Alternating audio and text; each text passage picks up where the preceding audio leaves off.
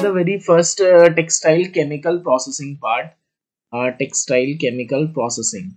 So in this textile processing numericals if i talk about in general shade percent. 5% shade on the weight of the fabric means uh, 5, 5 gram dye in on 100 gram of fabric. 100 gram Yeah. fabric. So this is the meaning of this. If i tell about expression expression means in 100% expression is there then uh, 100 gram of fabric after padding. After padding means the increase in weight. After padding means it is dipped in water or uh, a solution dyed solution. Then 100 gram of fabric after uh, padding uh, 100% increase in weight will happen and uh, the new weight will become 200 grams this is how this uh, is done. Getting 250 kg fabric is to be dyed in 4% shade and 50% exhaustion. 50% exhaustion. Amount of dye used in the dye bath is amount of dye used in dye bath is used in dye bath is. So if i talk uh, 250 kg fabric so on the weight of fabric it is taken always. So 4 upon 100 into 250 it is done. Then it will come out to be 10 kg. So it says that only only 50% exhaustion is done. Means the original fabric weight is uh, x and only 50% exhaustion is done. And the resulting weight is 10 kg.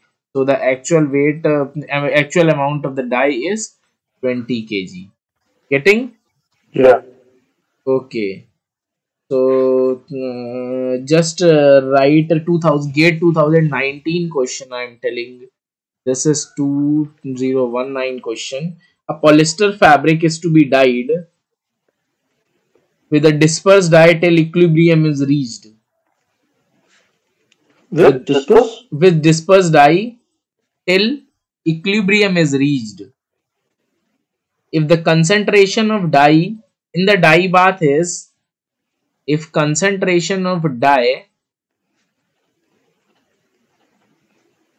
Okay. in the dye bath is 0.05 GPL and partition coefficient is 1000 ml per gram and partition coefficient is 1000 ml per gram.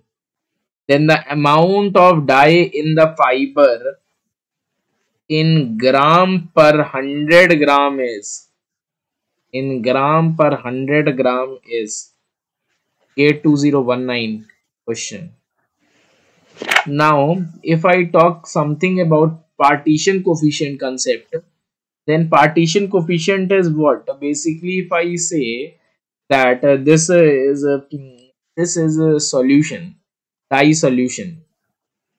And this Yeah. is the fiber. This is fiber. So in general what in chemical processing what happens is the uh, dye from the uh, solution goes into the fiber. This is how diffusion happens. In diffusion what happens the dye molecules enters from the dye solution into the fiber surface. And then it adsorbs. Then the fi- fiber depending upon the um, uh, absorption capacity the fiber adsorbs the um, dye molecules inside the uh, surface from inside. So if i say this is solution this is this is solution this is this. So mm, always this flows from this to this. So uh, this is if i say this is dye in solution so d dye in solution is represented by ds and dye in fiber is represented as df.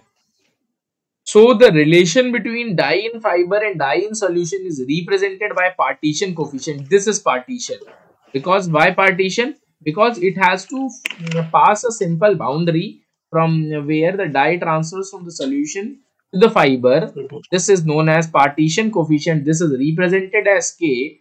And if I talk about the formula of the partition coefficient, then it is represented by df upon ds.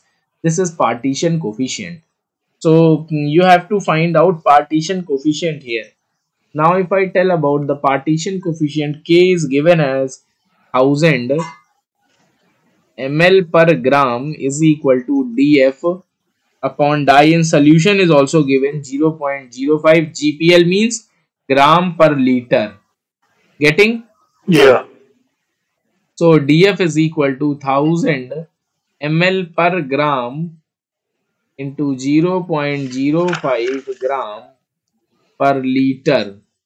So gram to gram will get cancelled and uh, we have to no do not we will not cancel this gram to gram uh, why we will not cancel this gram to gram?